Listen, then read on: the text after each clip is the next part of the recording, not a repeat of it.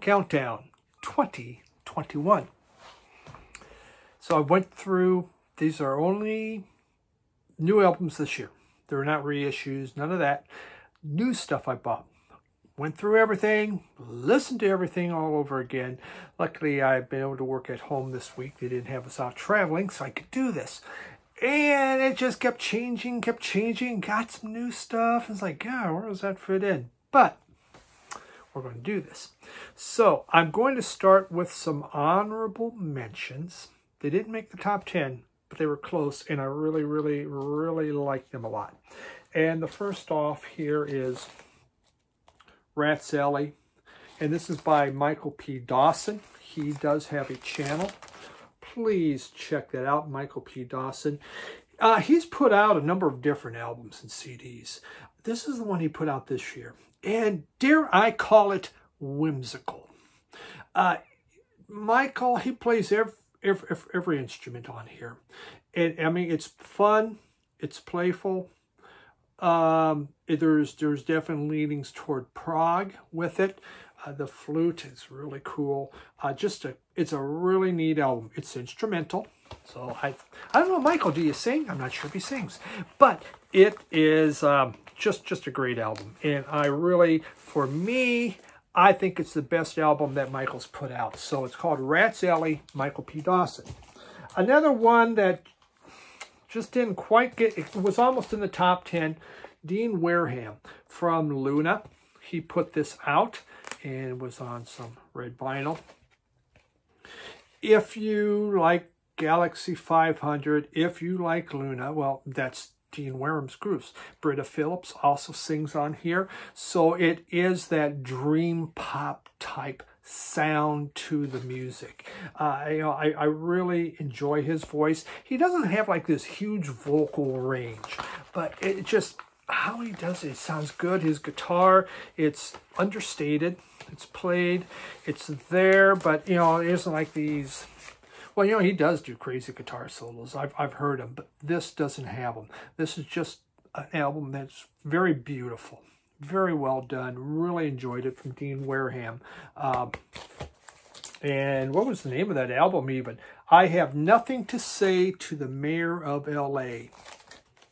That's a great title, huh? Another one. I, actually, I bought this one just recently. Uh, Dale at Gatefold 33, I believe, showed it. And they're out of England. And I haven't even shown this on the morning show, but I will talk more about this group. It's the Fabulous Courettes. Flavia and Martin Couri. Think the Ronettes with garage rock. And that's what you're going to get. Does that not look like a Ronette? I think it does. And very much garage rock happening. Uh, this is back in mono. That kind of explains it all. Fun, quirky album. Didn't quite make the top 10. The other one that just missed out was The Chills. Chills put out a new album. Haven't shown this one in the morning show either. Again, I got a couple of these new ones. Uh, wonderful album. Really, if you like the music of the Chills, this keeps it going. Um, just be beautiful sounding. Every song's different, so it's it's not like the same old, same old. They really change it up the instrumentation, and they keep it absolutely interesting. Uh, this is just a really good listen and it is on cool vinyl. But I will talk more about this later, but it just missed the top 10. Okay, so let's go. I think it's top 11, actually. Yeah, I can't count, really. But let's begin. The first one I have is Balmorhea. And gorgeous album. Think this is very much neoclassical. Uh, this is Michael Muller's band. He has um, channel. He doesn't really make videos, but he's busy. He's touring and hopefully touring this album. I've I've had almost all their their um, their music. and this one I absolutely find beautiful. It's dreamy.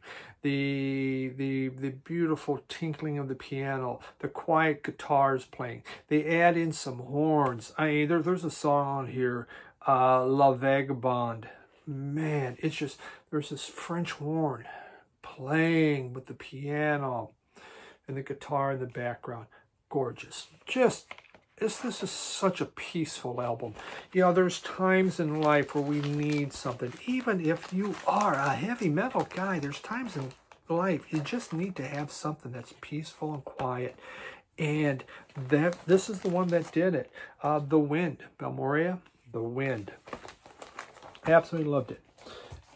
This is a newer edition. I haven't shown this on my morning show either to talk about yet. Courtney Barnett. I bought it because everyone's been talking about it, showing it, putting it in their top 10. I hadn't. I used to have a couple Courtney Barnett CDs, but hadn't really thought about her. So I bought this. And it was beautiful. I really, really liked it. You know, again, there's there's there's some more aggressive songs on here, some fast paced, but for the most part, I find it kind of more more more relaxing, really nice storytelling, great guitar playing. Uh, just a, a, truly enjoyable listen that I think every time you put it on, you're going to get something more from. And, you know, it's one that I kind of just ignored all, all year long. And finally, I kept saying, everyone's liking it. Everyone's liking this. So there must be a reason why. And thought, well, let's just give it a try. And so I did and really, really enjoyed uh, the album. And it's called, I should say the names of these albums, right? Things Take Time. Take Time. Things Take Time. Take Time. Kind of an odd. Kind of odd, huh? Then, um, the Vinyl Douche got me to, into buying this one here, Sam. I bought a few albums from him that I really enjoyed. And this is the Umbrellas. Think Dream Pop. That's really what it is. Uh, beautiful soundscapes being made. The vocalist is his voice is so-so. I, I, it's not the most melodic, but it fits the music. And, you know, it's just, you know, there, there's some nice harmonies going on. It, it just, it's very much a dream pop type of an album and it is their self-titled. It's their first album, just called The Umbrellas, and just some really wonderful music. Truly enjoyed it. I don't even know where my count's at. I didn't even bother. Then we go to Robert Plant and Alison Krauss. This was one of my most highly anticipated albums, one that I was super excited about coming out ever since they had that debut. I have apps, which I absolutely loved, just black vinyl, big deal. Uh, you know, when they when they did that album together, was it back 2007, 2003? I don't remember. This is quieter. This doesn't have as many fast-paced songs as the previous one, but their voices are better. I think Robert Plant's voice is outstanding. And he harmonizes more. You know, when they first did it, you know, Krauss took a lot of the harmonies because Plant was, will freely admit, I don't really do harmonies. He, It's true, he's a lead singer. In Led Zeppelin, who else was singing? Maybe John Paul Jones? I don't know. But Plant was the lead singer. This one here, he starts to harmonize and Alison sings, has a few more leads than what she did on the other one. Absolutely gorgeous album, something peaceful and relaxing. Then, coming on down, one, two, three, four, five, six, seven. Oh my God. All right, I guess it's number seven, a GA20 Hound Dog Taylor. And it's Try It, You Might Like It. Uh, the GA20, this is off the Colemine Records. They, they do a tribute to Hound Dog Taylor. Hound Dog Taylor is one of my all-time favorite bluesmen. He's a party he's he's he's party on vinyl that's that's what he is his, his music it's you know he didn't get recorded till very late in the stage uh, but his music is just, it's fuzzy, fuzz box guitar blues. And these this group, GA20, takes it and runs with it and makes it I it, it's it's a good tribute. They don't change it up a ton. They kind of play how Hound Dog would have played it, but it sounds great. It's raw, it's loud, it's funky, good stuff. GA20 there, and it's um, Hound Dog does Hound Dog Taylor. Wow, incredible good album. Really loved it. Then David Local Bandography. A lot of people were showing this. I hadn't bought it. Uh, Dave Local Bandography. You know how much my music gets inspired by channels? And by the way, please, in your comments, if you want, let me know what your favorite albums of the year are. Because that's how you keep looking, right? That's how we keep trying and finding new things. And I really like that. But let's go to Amyl and the Sniffers. I think this is number six now. Uh, I, I, know of this group. I've thought about buying this group. Never had bought this group. And then Dave's doing it, and he basically kind of said, if you don't buy it, you're stupid. Well, he didn't quite say it that way, but that's how I thought. I thought he was looking at me when he did it.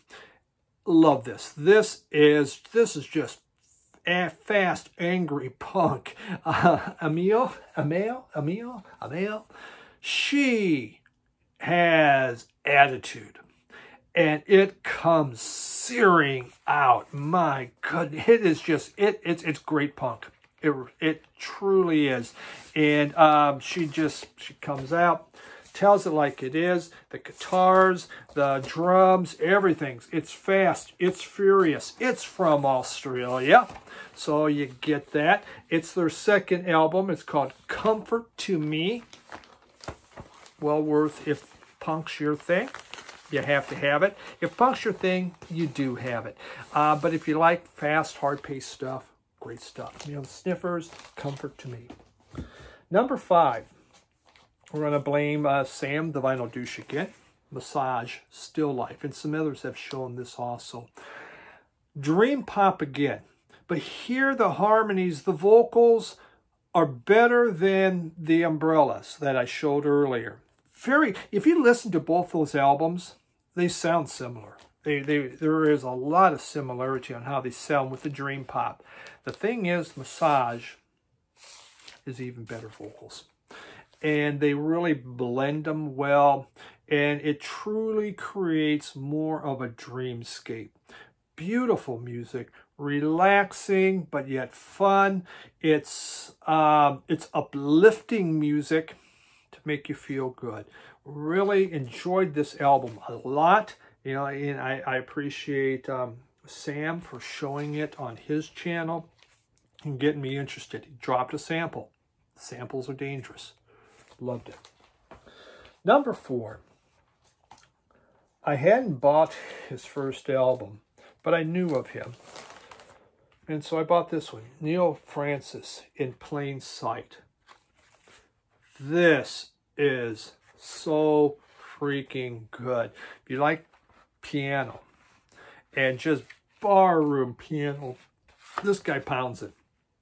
But he does other things. But this is fast paced. It's fun. His vocals are great. Uh, but it, it, it, just, it just, you put that thing on. If you got a party or something happening, uh, this this is great music for it because it, it really is. It's uplifting. It's happy. Uh, the name of In Plain Sight is the name of the album from Neal Francis. It's just super good. Ah, my goodness. I And uh, Mike from Hub Tunes has seen him. He's out of Chicago. This guy's from Chicago. Mike sent me his very first album, which was incredibly good. Uh, Neal Francis, it's someone, if you haven't checked out, really worth checking out. I mean, the way he can play play the piano is, it's, it's incredible. It just sounds so good, so fresh. So happy.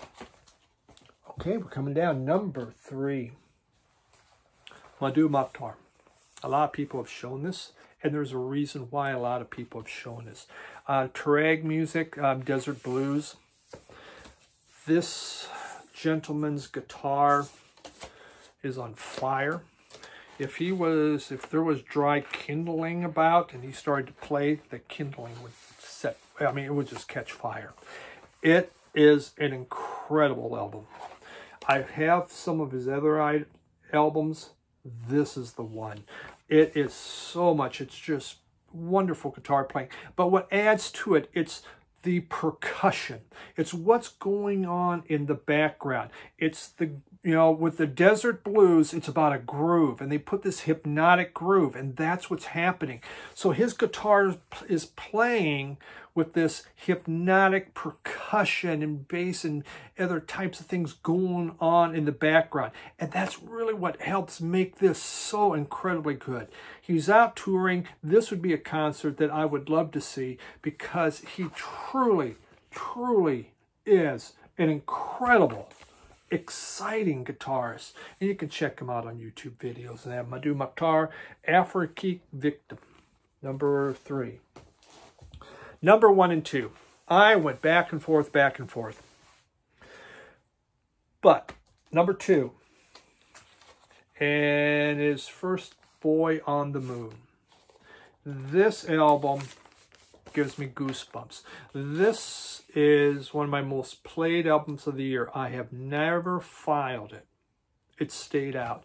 It is so good. Um, there can be a dream pop feel to it. There's a lot of 80s um, feel in there with the synthesizers. What's really beautiful is the singing, and the vocals are gorgeous. Uh, they just, and the songwriting is so nice. Now, this is hard to find. Um, it's very, it's kind of limited out there. You have to look around for it. Uh, but I, I just, I'm, I'm, I'm in love with this album. I, I just, I'm blown away by it. And it, again, it's just, it makes you happy. And, you know, you some of these songs and you just go, it just gives me shivers on the beauty of the music that's coming out. And you hear the different, you know, there, there's a lot of great playing that's going on. Uh, and it, it kind of a, kind of an 80s vibe type happening in there but truly, truly an incredible album. Um, one of my absolute, no, it's, it's my second favorite album of the year. Uh, the one that beat it out, number one, and, and, and this one almost brings tears to my eyes on some songs. It's um, how he did it. And it's Moby's reprise. And he takes his hits, or not even his hits, but different songs, puts it rearranges them. A lot of them have orchestration. Some he brings in gospel choir. One he has Kris Kristofferson and uh, Mark Lanegan playing. At first when I heard it, I go, man, I don't know, those voices sound kind of, eh. But gosh darn, it's good. It's haunting, absolutely haunting. We are all made of stars. This gospel choir that comes in at the end, if it doesn't put the hair on the back of your neck, that just, just doesn't stand up. I, I, I don't get it. Uh, it does Heroes. Uh, God Moving Over the Face of Water by Olafsson's in there. My God, it's just incredible. This is just I, I, I just put this on and I want to sit back and relax and let the music take me. Uh, I love Moby. I've always liked his music. But this thing to me is just how he rethought them through Deutsche Grammophon. It was so incredible. Favorite album of the year. There we have it. Guess what? Cat's just coming in now. He's been sleeping all day long. And he just missed out. Ha ha ha, cat. Yeah, because type.